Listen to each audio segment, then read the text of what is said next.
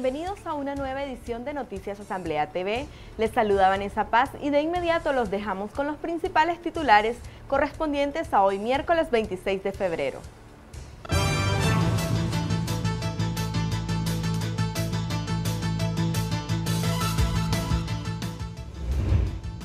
Con la imposición de la cruz de cenizas a los feligreses, la Iglesia Católica inició oficialmente la época de Cuaresma. Miembros de Juventud Sandinista rindieron homenaje al apóstol de la Unidad Sandinista a 42 años de su asesinato. Nicaragua más cerca de contar con un puerto en el Caribe nicaragüense. Empresa Portuaria Nacional informa que en los próximos meses recibirá un estudio de prefactibilidad para iniciar con la licitación de la construcción de la tan esperada infraestructura marítima. El plenario de la Asamblea Nacional remite a estudio en comisión la propuesta de reformas a la ley número 551, Ley de Sistema de Garantía de Depósitos.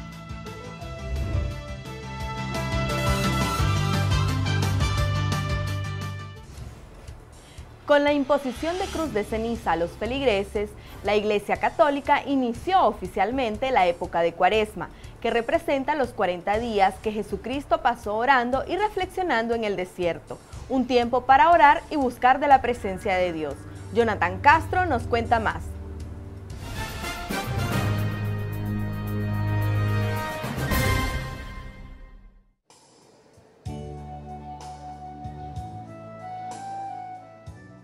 El miércoles de ceniza es un día santo de ayuno y de oración. Es el primer día de la cuaresma, que son los 40 días de penitencia que hizo Cristo antes de la Pascua. En Nicaragua la feligresía católica celebra este día con mucha devoción. La iglesia nos invita a los feligreses a tomar conciencia de que nuestra vida a veces no es correcta. Vivimos en pecado y tenemos que arrepentirnos para pedirle perdón a Dios. Dios es misericordioso y nos perdona. Por eso iniciamos la cuaresma con el miércoles de ceniza, pues la ceniza nos recuerda que el tiempo de la vida es corto y si no lo vivimos en Dios lo perdemos. Entonces hay que vivir en Dios para poder alcanzar la vida eterna. Para eso es la cuaresma y para eso nos ponemos la ceniza en la frente, para recordarnos que solo creyendo en Dios y abandonándonos a su misericordia es que vamos a alcanzar la verdadera vida. El significado de la cuaresma es transmitido a las nuevas generaciones que deben cosechar y albergar el amor al prójimo, el amor a Dios. Para nosotros como colegio parroquial le inculcamos al joven a participar para aumentar su fe y para hacer obras de caridad. Nosotros a ellos los invitamos a hacer obras de caridad como es, con los más necesitados, a los ancianos, para así poner en práctica las, las prácticas cuaresmales que nos invita el Señor. Este año la época de cuaresma se extenderá hasta el próximo 9 de abril y en Nicaragua el pueblo vive estas fechas con mucha fe y tradición. Con cámara de Lester Mora informó para el canal parlamentario Jonathan Castro.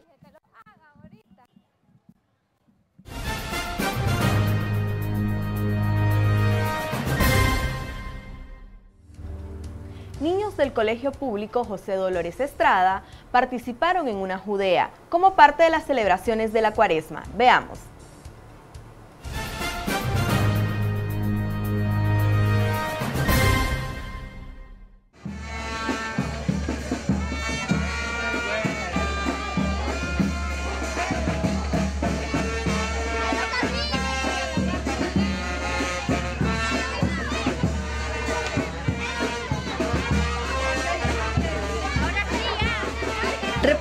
La muerte, pasión y resurrección de Jesucristo, así marca el inicio de la cuaresma, niños y niñas del Centro Educativo José Dolores Estrada.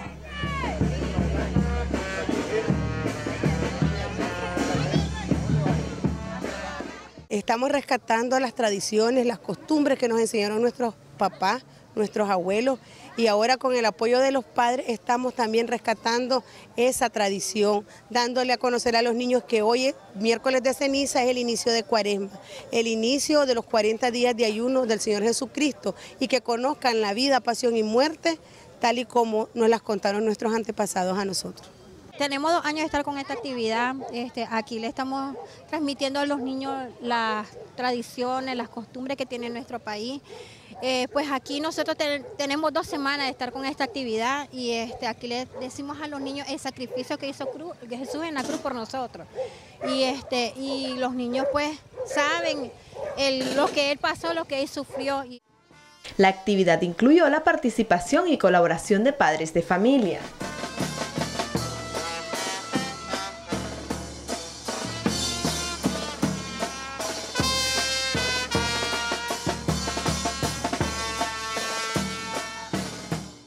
Es muy importante porque ellos ya van conociendo la pasión y muerte de nuestro Señor Jesucristo y le van tomando amor al sacrificio que él hizo en la cruz del Calvario. ¿Cuántos hijos tienen? El que está participando es, es mi niño de Jesús. Con música de redoble y trompetas, los niños revivieron cada una de las estaciones que sufrió en carne propia Jesús antes de su crucifixión.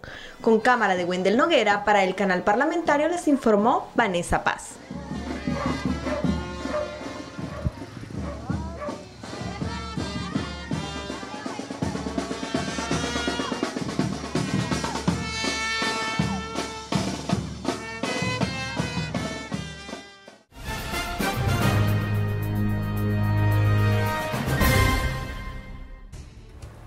Desde este miércoles y hasta que finalice la Semana Santa, la población que visite los comedores populares en el mercado Roberto Güembes podrá disfrutar a diario de las tradicionales comidas de cuaresma.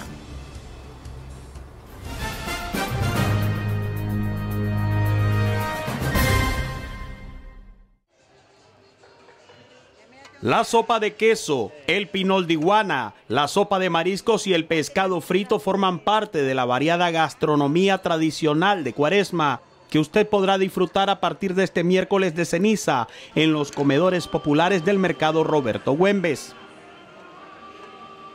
La verdad es de que me ha ido muy bien. Hice un perol de iguana de 4 libras y gracias a Dios pues ya tengo por la mitad. De aquí a la una ya creo que ya no hay nada. Igual a sopa de queso, hice 20 servicios de sopa de queso y ya tengo como unas 8 tazas.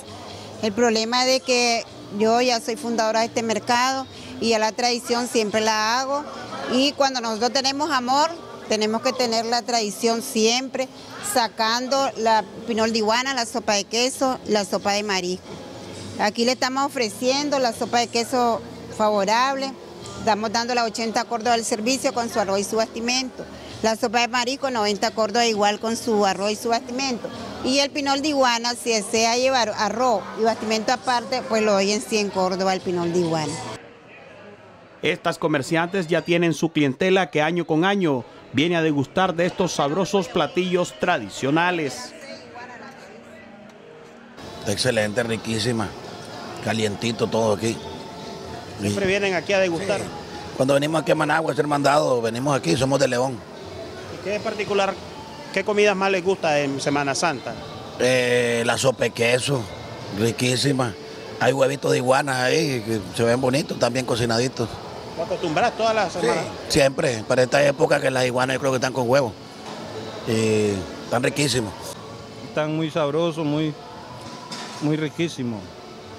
Ojalá que nunca se pierda la tradición de estos alimentos tan, tan ricos.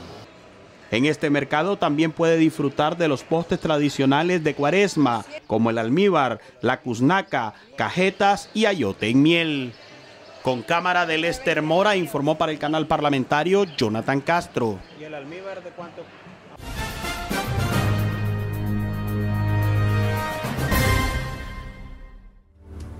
¿A qué precio se maneja la libra de pescado para el tradicional pescado seco? Miguel Carranza Mena nos lo cuenta en el siguiente reporte.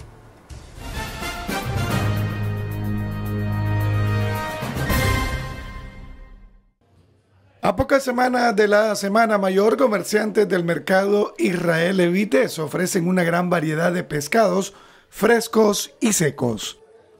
Bueno, ahorita lo que tenemos solo es el pescado pargo blanco, está por unidad a 80, 100. Tener lo que es la machaca, igual el moño sale a 80, 100. Por el momento, pues, ¿me entendés? Por lo que, o sea, que hoy, ya, hoy miércoles ya comienza el primer día de ceniza. Ya a partir del viernes, entonces ya esto ya sube, da un voltio más Oh, sí, correcto. Ahora se dice que el Gaspar está muy caro. Ah, sí, ahorita el Gaspar está a 150, 180 la libra. Entonces llama, eh, eso por mayor. Ahora traerlo aquí a lo que es al público, a, disminuirlo, entonces saliría ya como a 200. Entonces por eso si vos mirás ahorita casi nadie tiene entendido lo que es el, Gaspar. Solo la machaca. Solo la machaca y el pescado blanco que es el que está ahí ahorita entendido. La macarela para la sopita usted la encuentra en 80 córdobas la libra en el mercado Israel Evites. Bueno, aquí hay de parrito blanco, machaca, hay de curvina, hay de róbalo, de todo, hay macarela. Sí. lo tenemos? A 80, a 100 y a 120. Ahora, también tenés punche. Tengo punche, camarón está 130, 120. 180, 170, depende del tamaño. ¿Los punches? A 40 la ración de punche y a 30 la concha. Tenemos chuletita fresca de, de curvina a 80 Córdoba la libra. El pargo blanco que le acabo de enseñar ahorita, ese es a 70. La macarela a 70. E, esta, sí, esta se llama macarela a 70. Y, el Pargo Rock está a 100, a 120, a, 70, a 80, el más pequeñito. Los pescados que se venden en el mercado Israel Evite se caracterizan por su frescura, pues los comerciantes lo traen de las playas de Mazachapa y Casares directo a su hogar. Con cámara de Rubén Castro para el canal parlamentario, les informó Miguel Carranza Mena.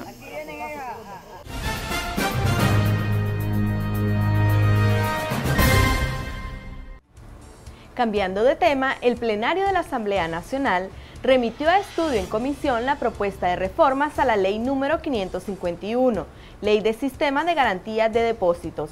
Esta y otras informaciones se las ampliamos a continuación. Veamos.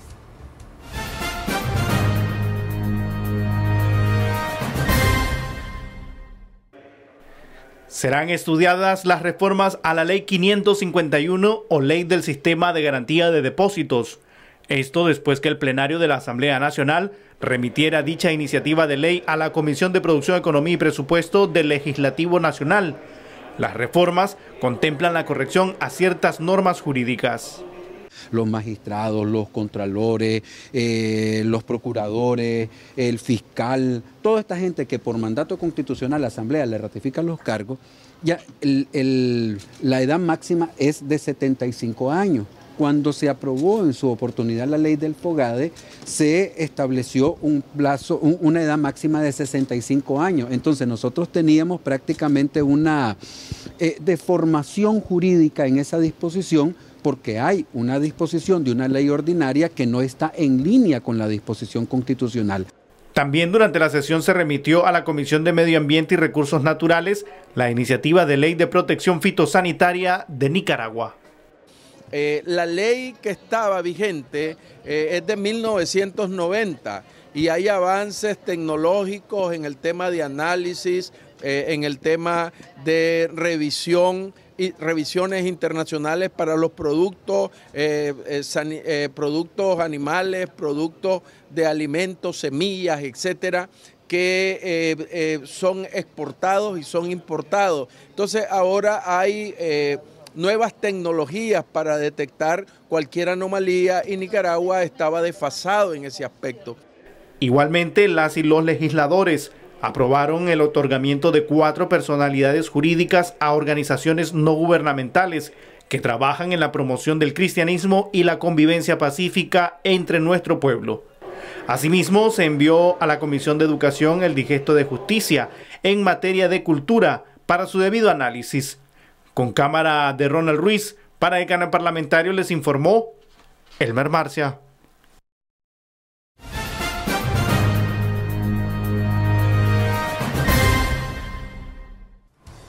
Es momento de realizar nuestra primera pausa informativa, ya volvemos.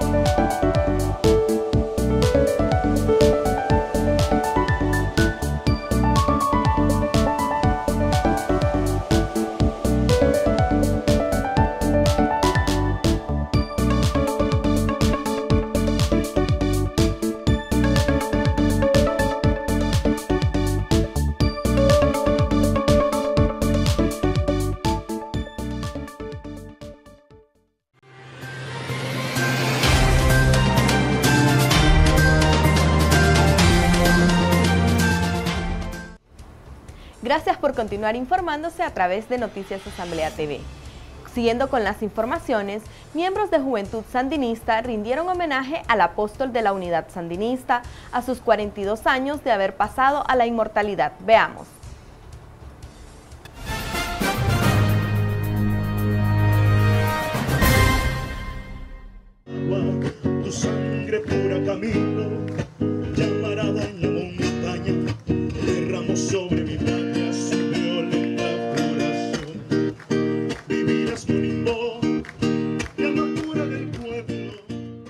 Como símbolo de respeto y compromiso, la Juventud Sandinista 19 de julio entregó una ofrenda floral como parte del homenaje que se le rinde al apóstol de la Unidad Sandinista, comandante Camilo Ortega Saavedra conmemoramos 42 aniversario de esa insurrección irrepetible de Monimbó.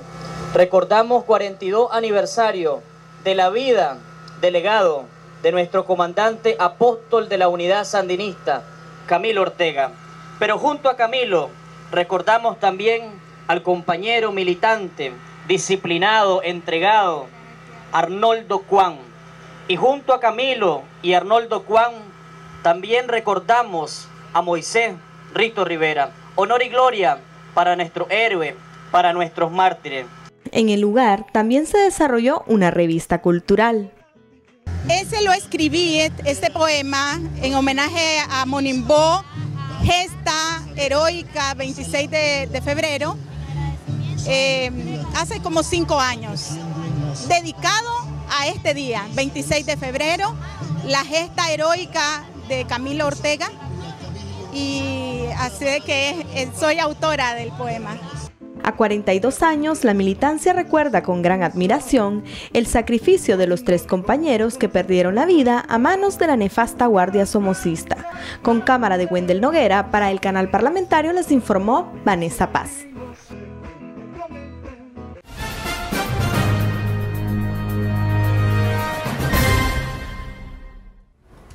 El 26 de febrero de 1978, el pueblo heroico de Masaya fue testigo de la gesta heroica de los abogales. Al respecto, el diputado Walmaro Gutiérrez describe este evento como uno de los hechos más relevantes acaecidos durante la lucha insurreccional, que ayudó a construir la unidad monolítica del Frente Sandinista de Liberación Nacional. La Asamblea Nacional eh, ha dado un justo y merecido reconocimiento a esta gesta heroica al haber ido a sesionar. Eh, somos del criterio de que ha sido un éxito de todo punto de vista, ya que este poder del Estado continúa conectándose con el pueblo de Nicaragua. Yo creo de que si hay algo que ha caracterizado al Frente Sandinista de Liberación Nacional es su unidad monolítica y eso es consecuencia directa del legado de Camilo. Nosotros consideramos de que el sandinismo unido jamás será vencido y eso es una realidad. El Frente Sandinista de Liberación Nacional y su unidad monolítica es la que va a garantizar seguir estando al frente del gobierno de reconciliación y unidad nacional para seguir combatiendo la pobreza, para seguir desarrollando planes, proyectos, programas y acciones que vengan a favorecer a los grandes estamentos de la sociedad nicaragüense que por más de 16 años de neoliberalismo fueron completamente marginados. Cambiando completamente de tema, la vigilancia por parte de las autoridades nicaragüenses de salud en todos los puestos fronterizos, terrestres y aéreos continúa, según un informe del Ministerio de Salud.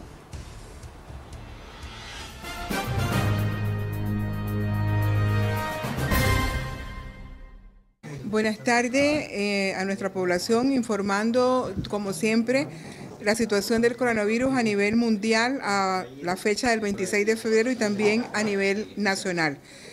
Al día de hoy se reportan a través de la información que recibimos de la Organización Mundial de la Salud un total de 81.147 casos y un reporte de 2.764 fallecidos por esta causa.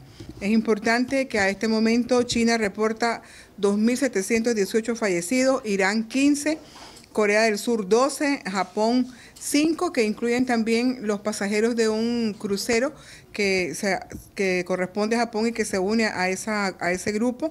En Italia llevamos 12 fallecidos, en Filipinas 1 y en Francia 1. Es muy importante que también tuvimos un incremento de ayer para hoy de cinco países más que están reportando casos confirmados y se hacen un total de 39. Los nuevos países que reportan casos positivos son Argelia, Austria, Croacia, Suiza y Brasil. Y Brasil, al igual que Canadá y Estados Unidos, se convierte en el tercer país que a nivel de las Américas eh, reporta un caso confirmado.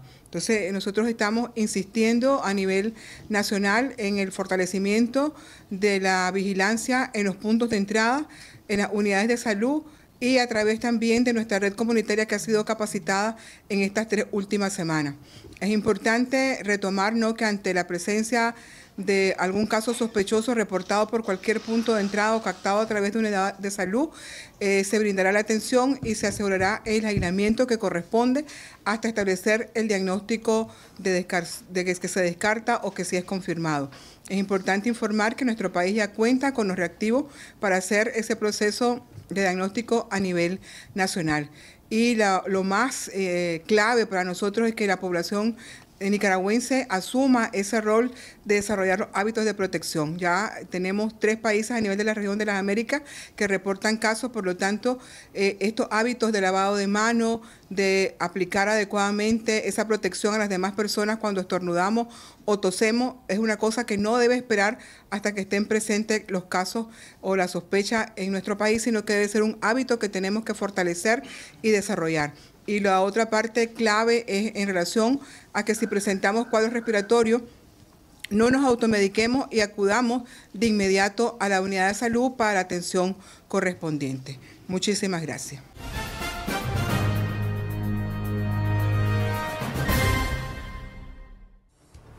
Los nicaragüenses pueden estar seguros que las instituciones encargadas de la seguridad de nuestros puertos marítimos son un muro de contención del peligrosísimo coronavirus.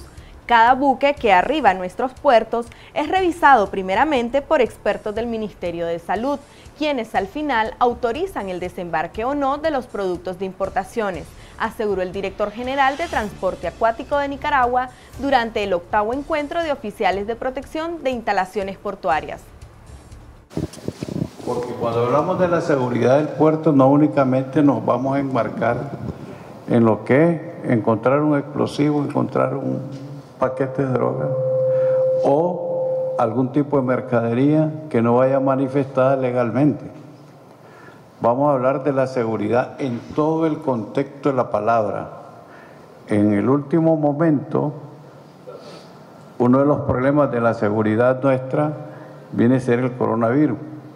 Y todas las instituciones aquí tenemos que estar en armonía para detectar en cualquier momento que se nos presente. Y en ese sentido tenemos nosotros una institución que es la punta de lanza para lo que son la recepción de los buques, como es el Ministerio de Salud, a través de los compañeros médicos que hacen la, el primer contacto con los buques y las tripulaciones.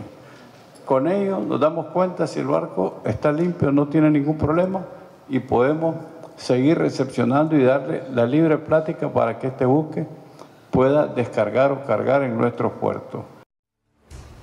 Y es momento de realizar una nueva pausa informativa. Ya volvemos con más del acontecer nacional e internacional en Noticias Asamblea TV.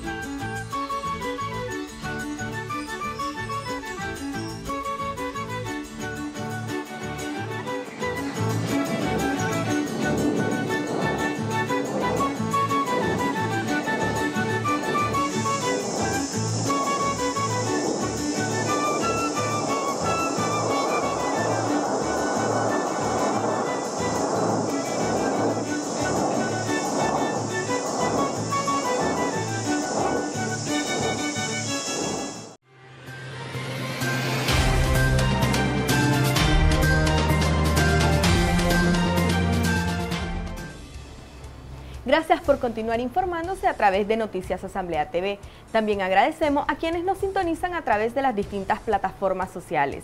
Siguiendo con las informaciones, la Policía Nacional de Nicaragua no da tregua al tráfico de droga, los asaltos con intimidación y los homicidios. En el siguiente reporte de Miguel Carranza Mena le explicamos por qué.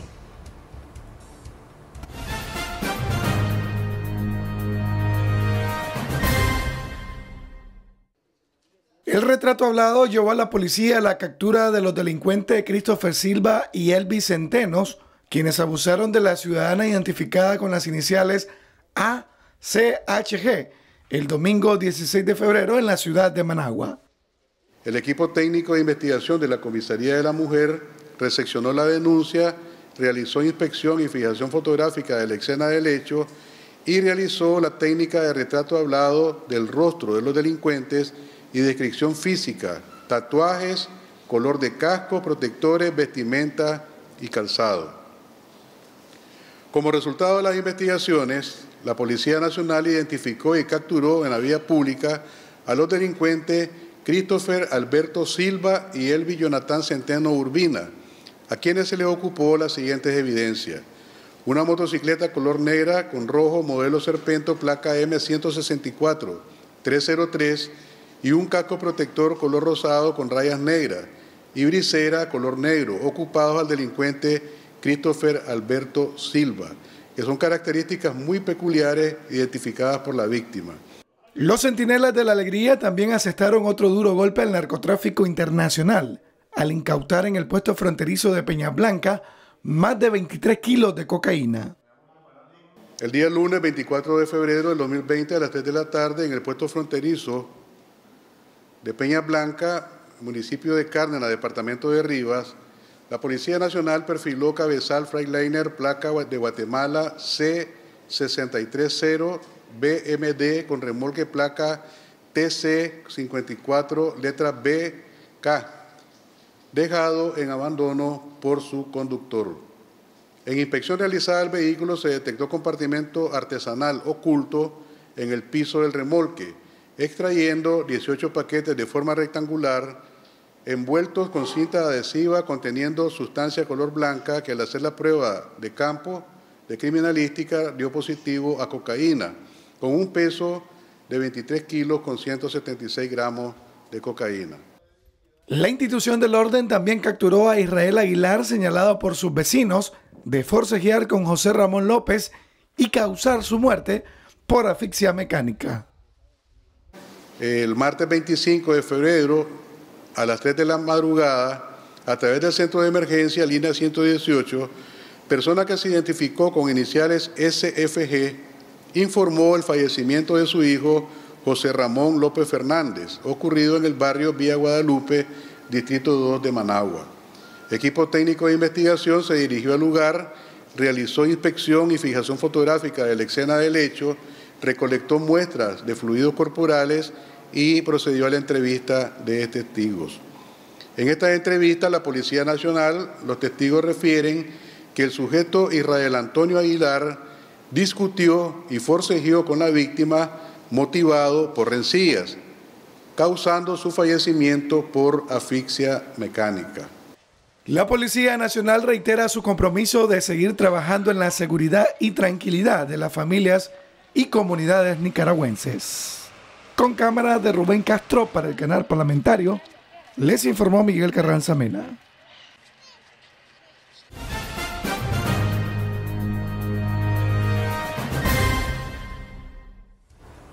Cambiando de tema, el embajador de China-Taiwán y el director general de INETER firmaron el convenio de cooperación para el apoyo en el mejoramiento funcional de sistemas de información en el INETER y la aplicación Arroznica. Veamos.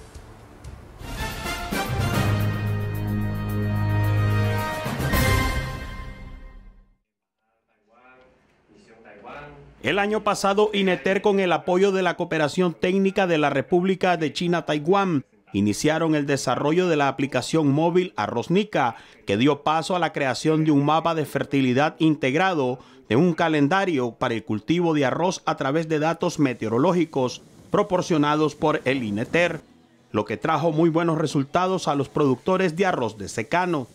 Con la firma de este segundo convenio entre las autoridades de China, Taiwán e INETER, se busca que la aplicación también beneficie a los productores de frijoles. Con ese buen resultado, ahora ya los productores, productoras de frijol también quieren tener uh, esa aplicación. Por eso hoy día es el, uh, va a firmar el segundo con, convenio. Estamos uh, muy seguros que ahora ya vivimos eh, en un mundo conectado, un mundo de alta tecnología. Tenemos que utilizar eh, la tecnología para promover la producción y sobre todo ahora el alimento, ¿no? Es un tema más importante, también es el desafío más eh, grande, ¿no? para los seres humanos. El convenio de cooperación para el apoyo en el mejoramiento funcional de sistemas de información en el INETER fortalecerá a través de la innovación las distintas plataformas de esta institución científico-técnica. Estos tipos de proyectos que firmamos con la cooperación del Taiwán, como por ejemplo el proyecto de Arroz Nica que firmamos eh, el año pasado y ahora este nuevo proyecto que tiene que ver con el... Eh, la aplicación Frijolnica con mejoramiento en las plataformas del INETER, con el uso de imágenes de satélite, con el uso de sensores remotos, eh, de técnicas de modelización, matemáticas, estadísticas, de machine learning, nos permiten al instituto fortalecernos, ¿verdad? generar cada vez mejores productos científicos, técnicos más precisos para el beneficio de nuestra población, pero a la vez nos permiten ayudarnos a enfocarnos hacia nuestros protagonistas, que son nuestra población. De esta manera, los pequeños y medianos productores nicaragüenses podrán acceder a una tecnología avanzada que les será de mucha ayuda para disminuir el riesgo climático para la siembra de este cultivo, mejorando sus niveles de producción y su economía familiar. Con cámara de Lester Mora informó para el canal parlamentario Jonathan Castro.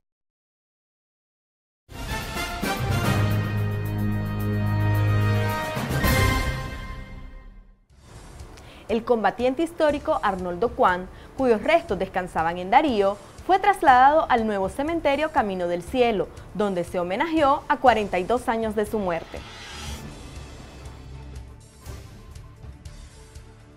Vamos a hacer un enlace con Liz Escoto, quien se encuentra en estos momentos en el cementerio.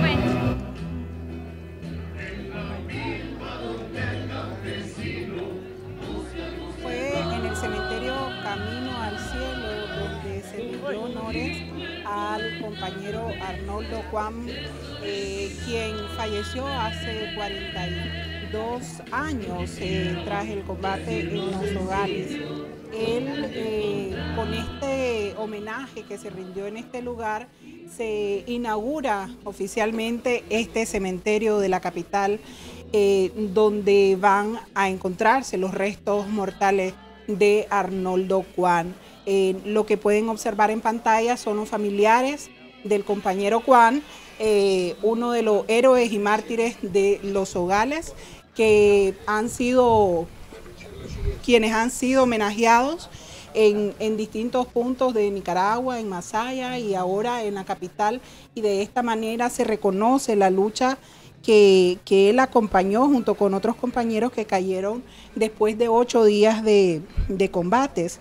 Y bueno, en, ahí estuvieron presentes también eh, jóvenes de la Juventud Sandinista, de la Alcaldía de Managua, de Ciudadarío, así como eh, políticos pues, de, Managua y de, de, este distrito 7 de Managua y de la ciudad de Darío. En estos momentos están colocando, como pueden observar, los restos mortales del compañero Arnoldo Juan, quien pues eh, eh, se, hicieron una, se hizo una oración reconociendo ese aporte a nuestro país y, la, que se reconoce pues este lugar como una obra de misericordia, eh, porque así eh, los familiares logran enterrar al compañero Arnoldo Juan en este lugar donde los capitalinos también podrán hacer uso de una capilla de, de oración donde podrán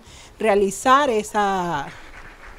Ah, como pueden observar en estos momentos, esta es la capilla que también están inaugurando y la compañera Reina Rueda ofreció unas palabras de agradecimiento a la familia por permitirles hacer este homenaje muy sentido, con mucho cariño, con mucho amor para el compañero Arnoldo Juan. Escuchemos sus palabras unos sentimientos encontrados en nuestros corazones al recordar esos momentos tan tristes como es la época de la guerra.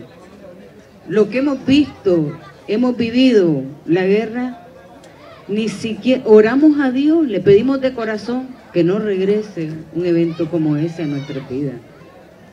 Quienes no la conocieron son esos corazones egoístas, de piedra, como decía el Padre, ese egoísmo, esa mezquindad que quieren arrebatarle el triunfo, la victoria a este pueblo.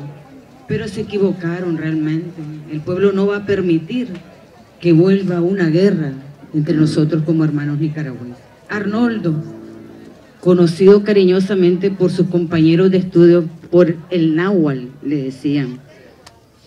Casi no muchos conocen eso, el náhuatl, cuando se estudiaba en León. ¿Y por qué? usaba el cabello en la parte de, enfrente de su cara. Lo quería muchísimo, un ser de luz, un ser especial, que realmente tiene que ser un ser especial para dar su vida por los demás. Pero la sangre de estos héroes y mártires no fue en vano, no se derramó en vano. Vino a abonar la tierra, vino a fortalecernos en amor, vino, vino a unirnos como hermanos nicaragüenses, como familia, y como le decía, no vamos a permitir que aquí vuelva una guerra. Al contrario, tenemos un gobierno que encabeza el comandante Daniel y nuestra vicepresidenta, la compañía Rosario, que ha rescatado, promovido y seguimos fortaleciendo lo que son estas victorias, pero sobre todo el amor entre nosotros. Todos esos valores de cariño, de familia, fueron rescatados y vamos a ir fortaleciendo. El ejemplo lo tenemos ahí dar la vida por nosotros, para que ahora las generaciones actuales disfrutemos de un país libre, de un país en progreso, de un país transformado, pero transformado en amor. Y el amor es lo que mueve el mundo, es el motor que nos impulsa a seguir luchando por crecer en victoria.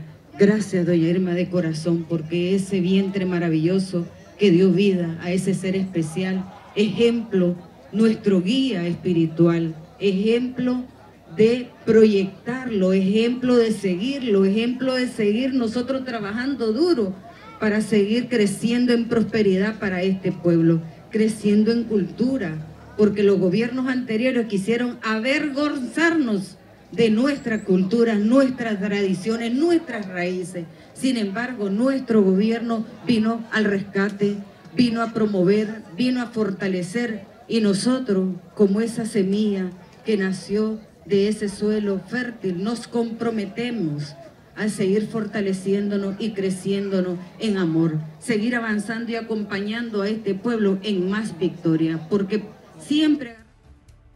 Y bueno, también en este mismo homenaje se reconoció eh, que la lucha del el compañero Arnoldo Juan fue una expresión de amor.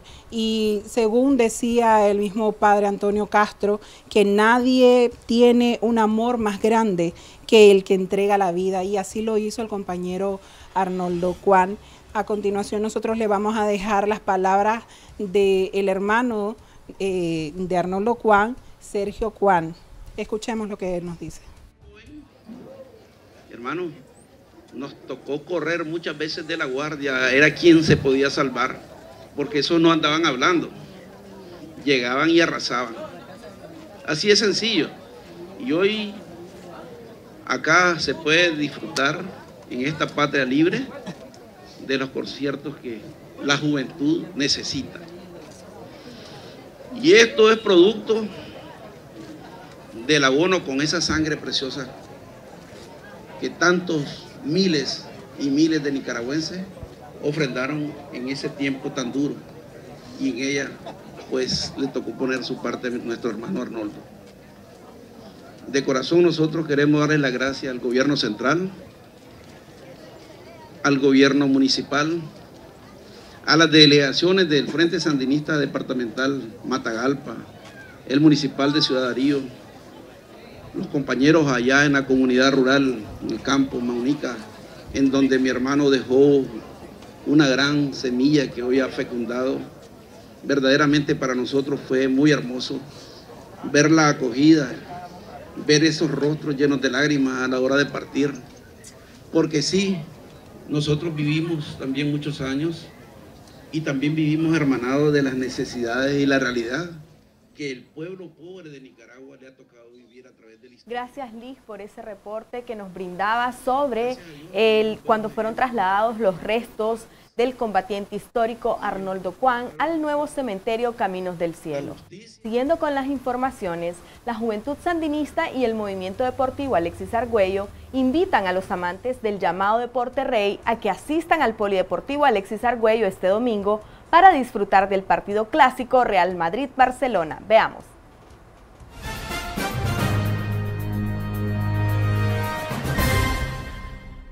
Llega el encuentro más esperado a los fanáticos del fútbol. El clásico español, Barcelona versus Real Madrid. El Polideportivo Alexis Argüello será epicentro de la fiebre futbolera de los fanáticos de Managua que este domingo disfrutarán en un circuito de pantallas gigantes el encuentro de los dos equipos más famosos y más seguidos por la fanaticada futbolística a nivel mundial. Hacemos la invitación para toda la familia, principalmente para los jóvenes que se vengan con amigos a partir de las 12 del mediodía, Clásico Barcelona-Real Madrid, primero de marzo, día domingo. Quería invitaros a todos a esta actividad tan interesante que creo que organiza el movimiento Alexis Argüello, ¿no? Eh, creo que es un evento muy importante, un clásico que es muy, reconocido a nivel mundial y creo que será muy interesante pues, poder venir aquí el 1 de marzo eh, a, a, disfrutar todas las familias y todos los amigos de, de este evento que, que es muy importante para disfrutar y también para fomentar el fútbol en, en, el país. Las personas que asistan, además de presenciar en vivo el partido más esperado del año, podrán disfrutar de una exhibición de autos modificados durante el medio tiempo. Durante el medio tiempo vamos a tener una exhibición de autos modificados donde seleccionaremos a lo mejor de lo mejor luces, motor y por supuesto las modificaciones de los mismos. Repetimos nuevamente, Clásico Barcelona-Real Madrid, primero de marzo, día domingo a partir de las 12 del mediodía. El Polideportivo está capacitado y listo para aglomerar a más de 7.000 jóvenes en el estadio virtual, para que puedan ver y disfrutar totalmente gratis de esa jornada futbolística. Con cámara de Wendel Noguera, para el canal parlamentario les informó Vanessa Paz. A las 12 del mediodía, el clásico español lo vives en el estadio virtual. Te invita el movimiento deportivo Alexis Argüello.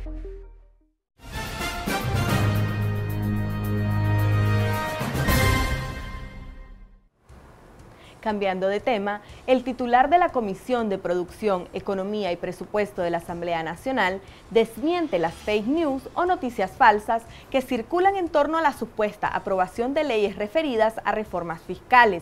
El legislador también aclaró que la ley de concertación tributaria contempla un proceso de monitoreo y seguimiento a fin de analizar la necesidad o no de unas reformas. Yo quiero dejarle claro al pueblo nicaragüense de que en este momento en el Parlamento Nacional no existe ninguna propuesta de reforma fiscal. No existe ninguna propuesta de reforma tributaria. Eh, es la tercera vez que yo he visto a través del Internet que se anda divulgando como una fake news, como una noticia falsa, iniciativas de reforma fiscal. Nicaragua contará con un nuevo digesto jurídico en materia de gobernabilidad. Esto producto al trabajo legislativo que realizan las y los diputados que integran la Comisión de Probidad y Transparencia. Dicho proyecto de ley estará listo en el mes de abril. Asimismo, se reunió la Comisión de Población, Desarrollo y Asuntos Municipales para avanzar en la elaboración del digesto jurídico en materia municipal y evaluar otras leyes. Lo otro es que también en el Plan 2020 de la Asamblea Nacional se habló de la creación de nuevas ciudades y municipios. Lógicamente eso está en dependencia de quienes lo soliciten y puedan, después de todo un análisis, de todo un estudio, pues poder cumplir con las características este, y los requerimientos que la, ley man- manda para ello. Entonces lo que estamos ahorita, estábamos en un proceso, estamos iniciando un proceso de capacitación este, sobre el marco jurídico legal, ¿verdad? Que tiene que ver para la creación de los nuevos municipios, porque no es de sencillamente solo ah, vamos a crear un municipio y, y viene la asamblea y vamos a aprobarlo. Tiene que cumplir una serie de requisitos. Es momento de realizar nuestra última pausa informativa, ya volvemos.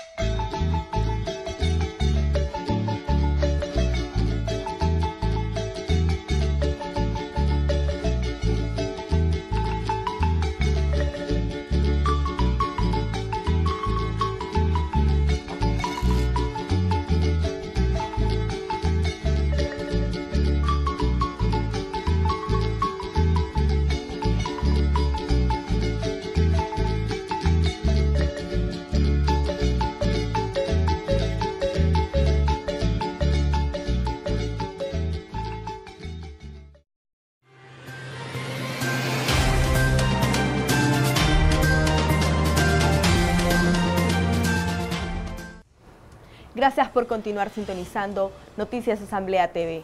La vicepresidenta de Nicaragua, compañera Rosario Murillo, hizo una remembranza de la gesta histórica de los héroes y mártires de Monimbó, que ofrendaron sus vidas luchando por la libertad del pueblo de Nicaragua, luchando contra la tiranía para que hoy vivamos en paz, misma que no puede ser alterada por los emisarios del odio.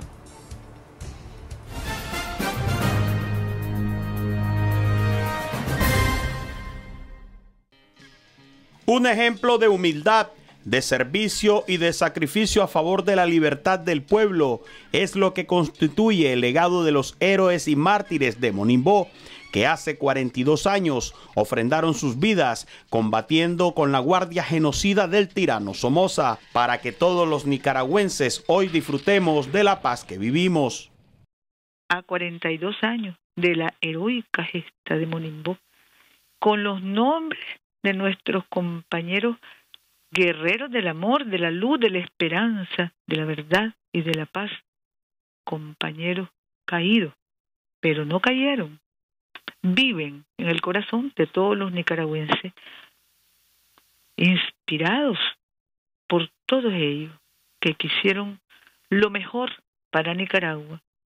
Nosotros juramos querer lo mejor y trabajar por lo mejor para Nicaragua y juramos defender los triunfos de la paz cotidianamente, del buen corazón. Juramos defender ese buen corazón que nada puede alterar y de tanta buena esperanza que es solidaridad y que gracias a Dios tenemos los nicaragüenses.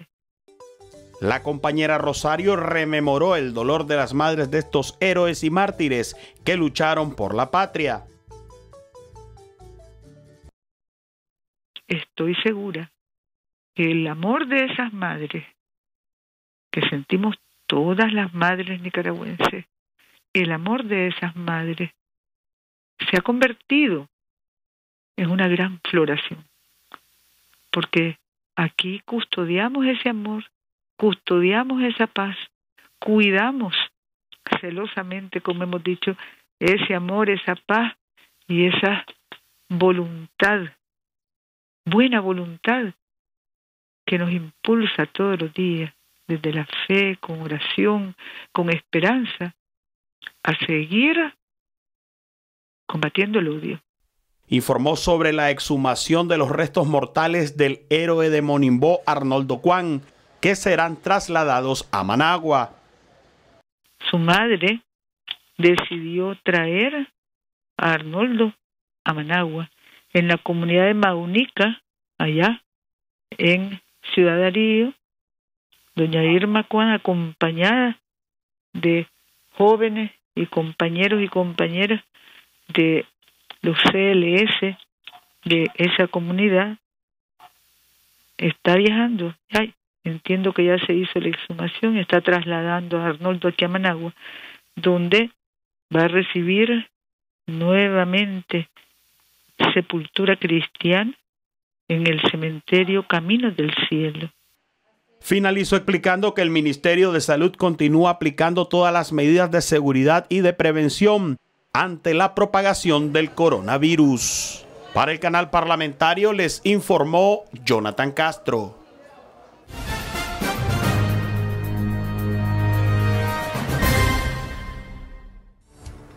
Y pronto estará el estudio para la construcción de un puerto marítimo en el Caribe nicaragüense. Miguel Carranzamena con los detalles.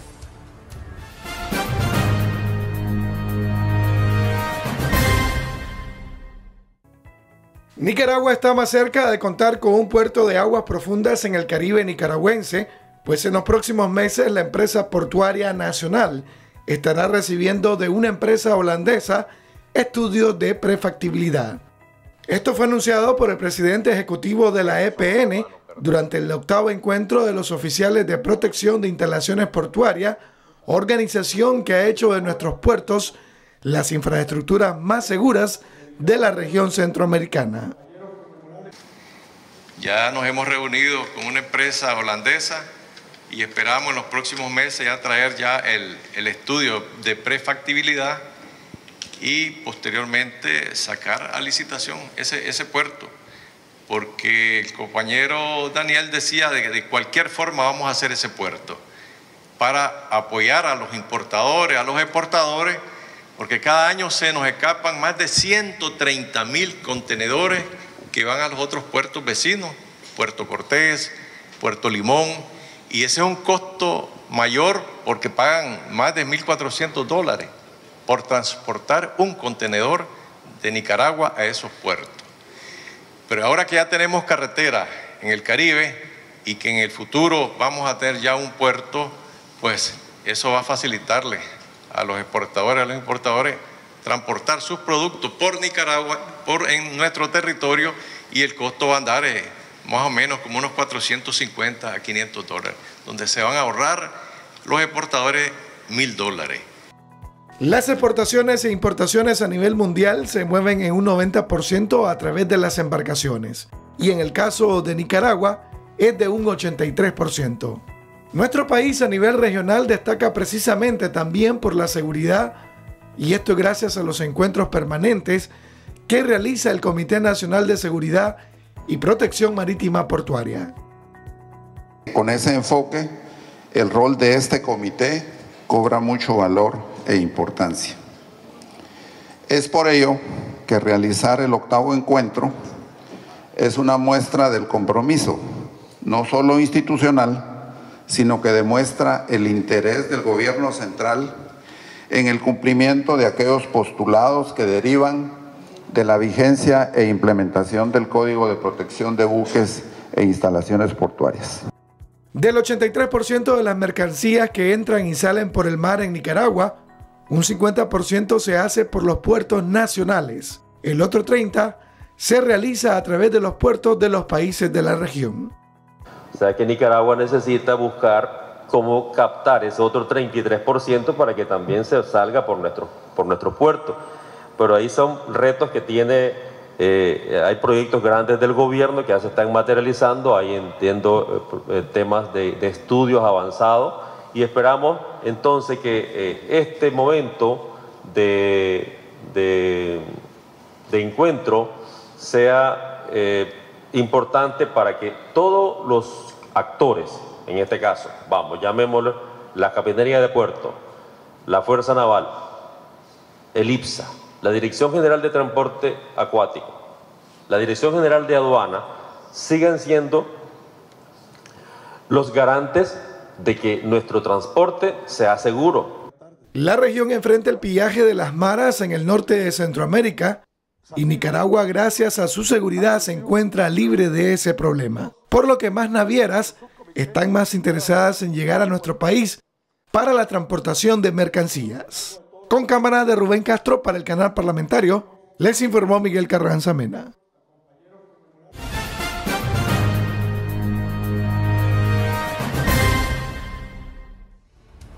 Protagonistas del Ministerio de Economía Familiar invitan a la primera feria de medicina natural.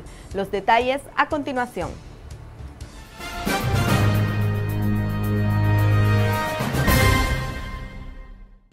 Este domingo el Parque Nacional de Ferias acogerá la primera Feria de la Salud 2020, la cual contará con la participación de protagonistas que ofertarán productos para el cuidado e higiene elaborados con ingredientes naturales. Este fin de semana va a ser la Feria de la Medicina Natural. Este, mi negocio se llama eh, Productos Naturales, Planta y Semilla. Eh, estamos a la orden para eh, cualquier paciente que quiera ser atendido ¿verdad? En, el Parque Nacional de Feria pues lo estaremos esperando.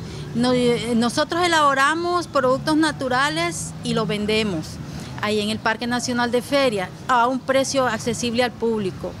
Mi negocio se llama Tienda Naturista Baez.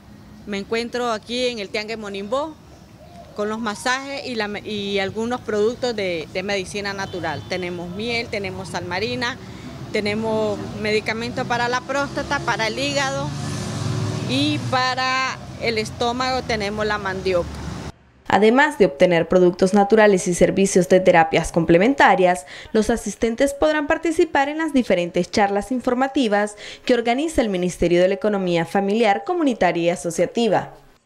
Eh, vamos a tener este fin de semana, por supuesto, productos para nuestra salud a precios muy eh, excelentes, muy solidarios, aparte que no va a faltar también a todas aquellas personas que quieren llegar a desestresarse, los masajes terapéuticos y las consultas que realizan en nuestros protagonistas.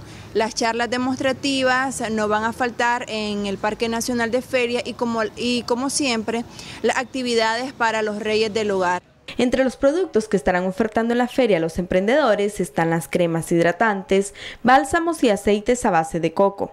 El Parque Nacional de Ferias abre sus puertas a partir de las 9 de la mañana hasta las 7 de la noche. Con cámara de Wendel Noguera para el canal parlamentario les informó Vanessa Paz.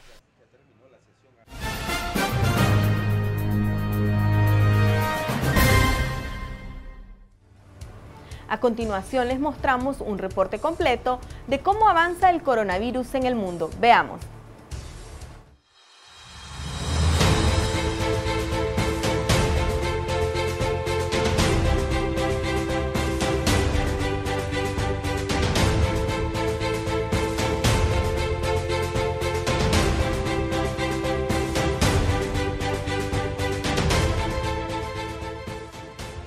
El director de la Organización Mundial de la Salud en Europa ha comunicado durante una rueda de prensa desde Roma, Italia, que se han registrado 80.988 casos de infección por el coronavirus en 33 países del mundo. Agregó que no hace falta entrar en pánico, debido a que la tasa de mortalidad del COVID-19 en China, donde se han registrado el 96.5% de los casos, era del 2% y ha bajado al 1%. El Ministerio de Salud de Brasil confirmó el primer caso de infección con el nuevo coronavirus de un ciudadano brasileño residente en Sao Paulo y que este mes de febrero pasó 10 días en Italia. Además, hay 20 sospechosos de portar el virus de edades entre los 20 y 68 años. El ministro aclaró que no se alterarán los procedimientos en los aeropuertos o bloqueos de países sospechosos. El índice principal de la Bolsa de Valores de Sao Paulo mostró una caída de 5.2%, luego que se confirmara el primer caso de coronavirus en este país. Y el real brasileño ha bajado a un mínimo histórico frente al dólar, al cotizarse a 4.445 reales. El presidente de El Salvador, Nayib Bukele, en su cuenta de Twitter anunció la prohibición de la entrada a viajeros procedentes de Corea del Sur e Italia, como parte de las medidas de emergencia para impedir el ingreso del COVID-19 a este país. Los responsables de los Centros para el Control y la Prevención de Enfermedades de Estados Unidos han llamado a los estadounidenses a comenzar a prepararse para la propagación del nuevo coronavirus por el territorio nacional. El secretario de Salud y Servicios Humanos ha comunicado a un subcomité del Senado que probablemente habrán más casos de infección por coronavirus en Estados Unidos y ha pedido a los legisladores que aprueben 2.500 millones de dólares para combatir el posible brote. En Estados Unidos hay 57 personas infectadas con el COVID-19. Para el canal parlamentario informó Lisa Escoto.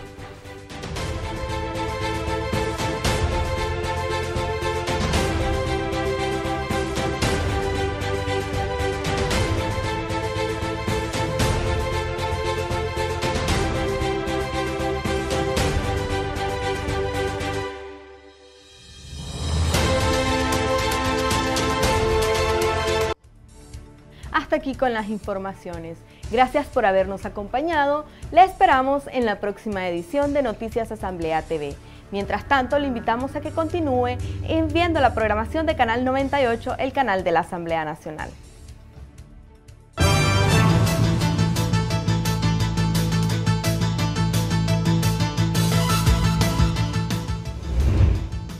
Con la imposición de la cruz de cenizas a los feligreses, la Iglesia Católica inició oficialmente la época de Cuaresma. Miembros de Juventud Sandinista rindieron homenaje al apóstol de la Unidad Sandinista a 42 años de su asesinato. Nicaragua más cerca de contar con un puerto en el Caribe nicaragüense. Empresa Portuaria Nacional informa que en los próximos meses recibirá un estudio de prefactibilidad para iniciar con la licitación de la construcción de la tan esperada infraestructura marítima.